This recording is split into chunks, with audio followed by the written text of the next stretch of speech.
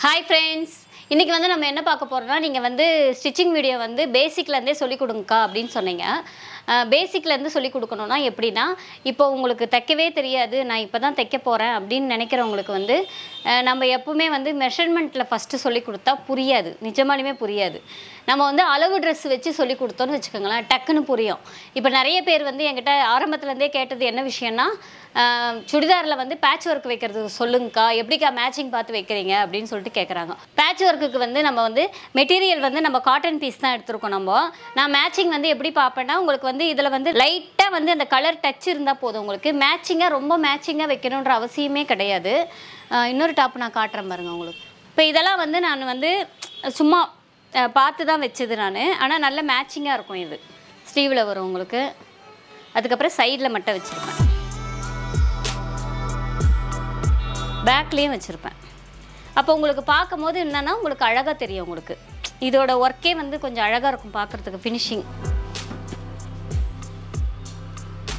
இது வந்து cotton piece கிடையாது சிந்தட்டிக் பீஸ் தான் இது. சிந்தட்டிக்கில் வந்து நம்ம தைக்கிறது கொஞ்சம் கஷ்டமான வேலை தான் ஏன்னா அது வழுவின் வழுவிட்டு ஓடும். நம்ம கற்றுக்கும் போதே வந்து சிந்தட்டிக்கில் கற்றுக்கணும்னு வச்சுக்கோங்களேன் நம்மளுக்கு தைக்கிறது ஈஸியாக இருக்கும் நம்மளுக்கு. சுடிதார் தைக்கிறதுக்கு நம்ம வந்து நெக்கு தான் இன்றைக்கி வந்து உங்களுக்கு வந்து நான் நெக்கு டிசைன் மட்டும்தான் சொல்லி தர போகிறேன் நான்.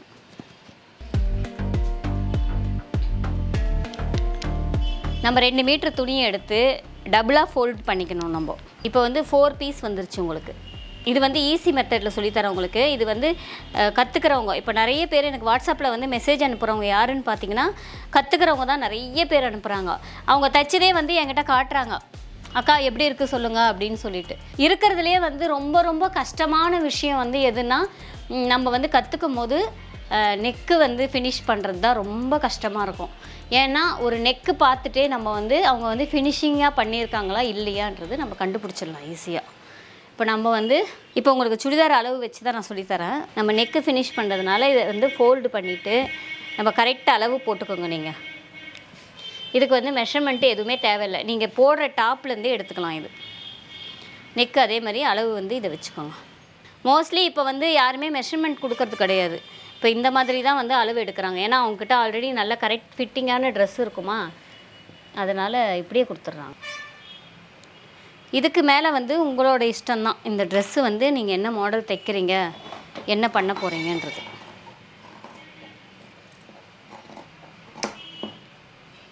இப்போ ப்ராப்பராக தைக்கிறாங்க பார்த்தீங்களா அளவு எடுத்து இன்ஸ்டேப் வச்சு அந்த மாதிரி தைக்கிறவங்களுக்கு இந்த இந்த இது வந்து என்ன சொல்கிறது இது வந்து சிம்பிளாக தெரியும் அவங்களுக்கு.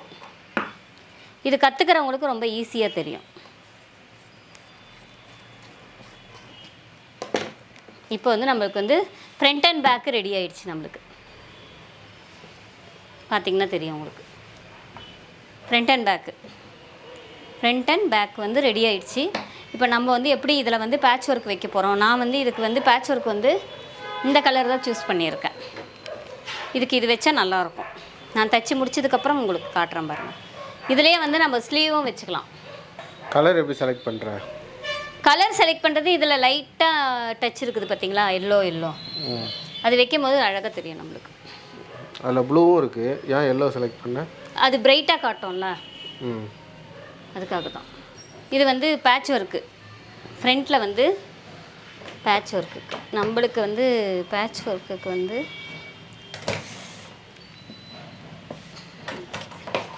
இந்த சைஸ் போதும். இப்போ நம்ம வேலையை ஆரம்பிச்சிடலாம். என்ன மாடல் வைக்க போகிறேன்னு அங்கே போய் தான் முடிவு பண்ணுவேன் நான் எப்போவுமே.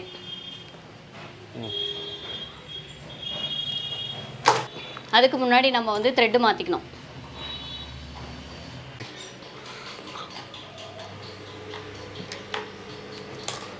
நம்ம வந்து வேலையை ஆரம்பிச்சிடலாம்.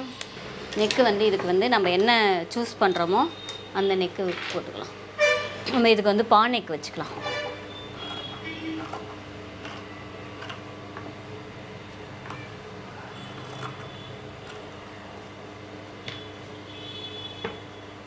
எப்போவுமே ஒரு பீஸ் போட்டு இது ஒன்று ஒன்றும் ஒரு ஒரு மாடல் வரும். இப்போ இது வந்து நான் உங்களுக்கு மேலேயே பேட்ச் ஒர்க் வைக்கிற மாதிரி உங்களுக்கு நான் வந்து சொல்லி கொடுக்குறேன். இதுவே வந்து நம்ம கட் பண்ணிவிட்டு பேட்ச் ஒர்க் வைக்கிற மாதிரியும் வரும் உங்களுக்கு. அதையும் நான் சொல்லித்தரேன்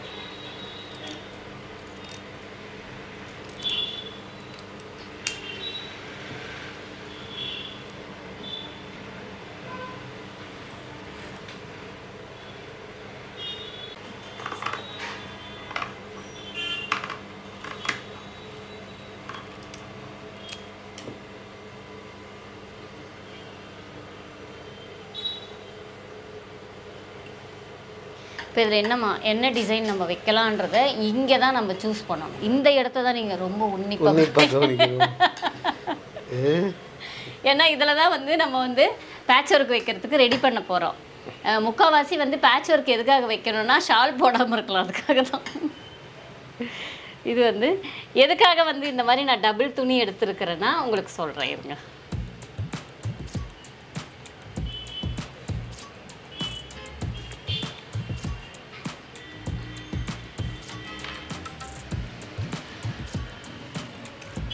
நம்ம கையில் என்ன டிசைன் வருதோ அதுதான்.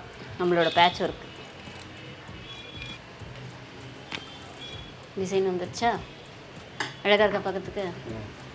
இப்போ இதை வந்து நம்ம என்ன செய்ய போகிறோம்னா ஜாயின் பண்ண போகிறோம்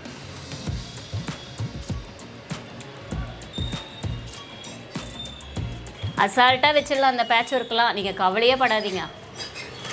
நம்மளுக்கு இந்த வேலையெல்லாம் ஈஸியாக வந்துடும் நம்ம ஒரு தடவை கற்றுக்கிட்டோன்னா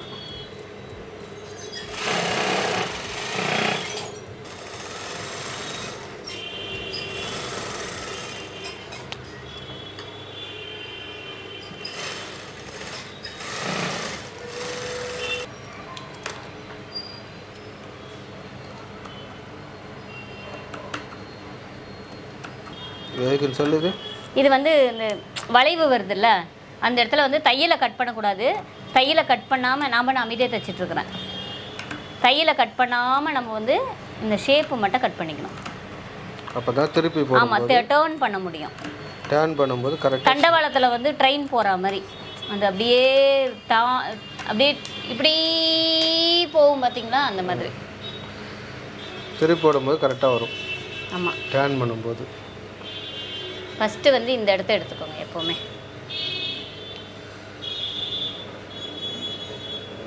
இந்த இடத்த ஏன் எடுத்துக்கணும்னா ஐயோ ஊசியை காணுமே. ஊசியை காணும். அதனால் நான் இந்த ஊசியிலே எடுத்துக்கிறேன். சிறு துரும்பும் பல்குத்த உதவும். சிறு ஊசியும் டேர்ன் பண்ண ஆகும்.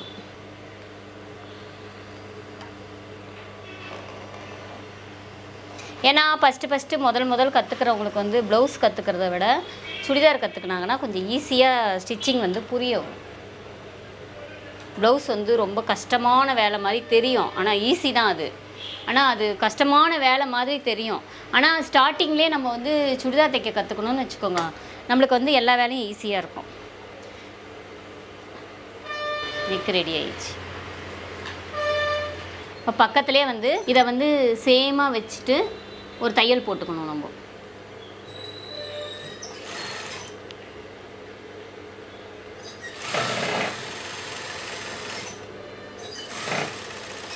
அதே மாதிரி சுற்றி அடிக்கணுமா? ஆமாம் ஒரு தையல் அது உட்கார்றதுக்கு தான். அப்போ தான் நல்லா உட்காரும் உங்களுக்கு. இதை வந்து எப்படின்னா இந்த தையல் போடும்போது இந்த இந்த இது வந்து சமமாக இருக்கணும் உங்களுக்கு. அப்படி உங்களுக்கு இது மாதிரி கையிலேயே உங்களுக்கு கீறி வரலைன்னா நீங்கள் அயன் பண்ணிட்டு கூட செய்யலாம். இதை வந்து நம்ம சுற்றி வந்து தையல் போட்டாச்சு நம்ம. அதுக்கப்புறம் இது வந்து ஃபிட்டிங்காக நிற்கிறதுக்காக இந்த பக்கம் ஒரு தையல் போட்டுக்கலாம்.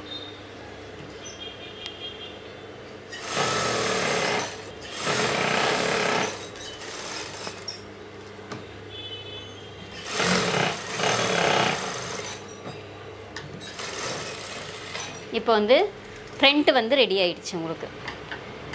அழகாக இருக்கும் இது. தைச்சோன்னா நம்ம அழகாக இருக்கும். மசூதி மாதிரி இருக்கு? இதை வந்து இப்போ நான் வந்து உள் சைடு தான் வைக்கணும் இதை ஓகேவா உள் சைடு வச்சா தான் நம்ம அடித்து திருப்பும் போது கரெக்டாக வரும்.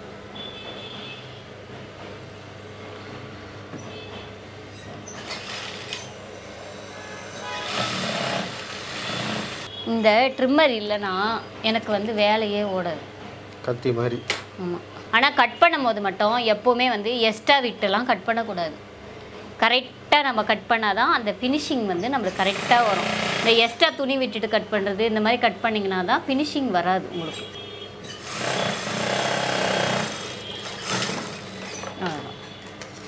இப்போ இதை அடிச்சு திருப்பிடலாம். இந்த கார்னரில் ஒரு கட்டு இந்த கார்னரில் ஒரு கட்டு நெக்கை சுற்றி ஒரு தையல் போட்டுடலாம்.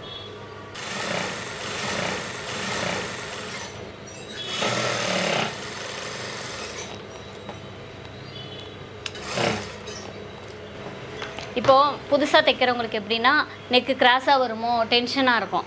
அவங்களுக்கு வந்து என்ன பண்ணுங்கள் நீங்கள் ஸ்ட்ரெயிட் பண்ணிவிட்டு இங்கே ஒரு ஊசி வந்து குத்தி வச்சுக்கோங்க நகராது உங்களுக்கு. நான் வந்து ஊசிலாம் குத்த மாட்டேன் உங்களுக்காக சொல்லி காட்டுறேன்.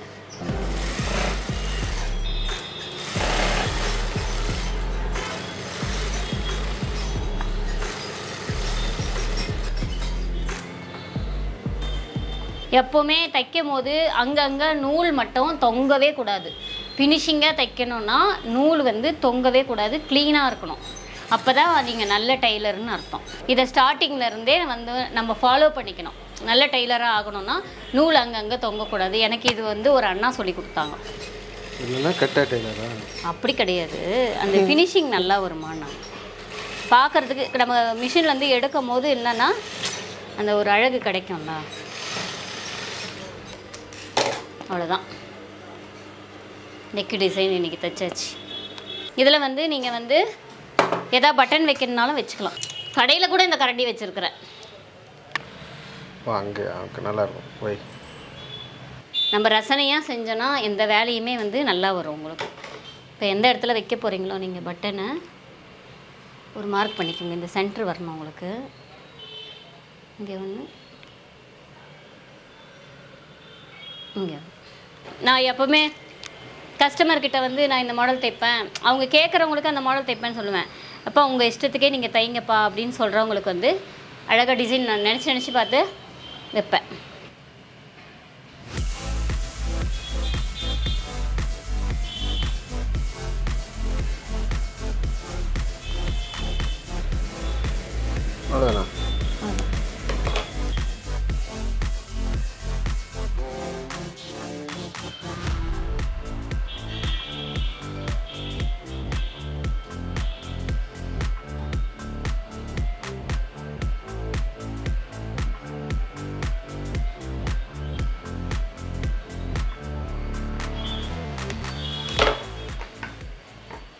ரொம்ப ரொம்ப ஈஸியான சுடிதார் நெக்கு பார்த்தாச்சு.